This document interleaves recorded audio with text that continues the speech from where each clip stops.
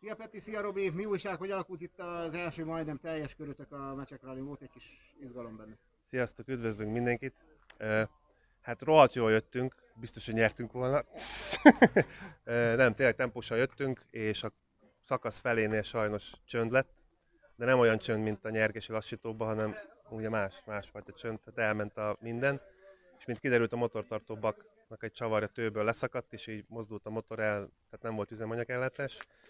Úgyhogy megvártuk, még lemegy a Rally 2 mezőnye, ott a szurkolók Rally a Rally 3, de hát nem a kettő elment, letoltuk, vagy visszatoltuk, és akkor hívtuk a szerelőket, de mit csináltuk meg, ugye? Megjavítottuk.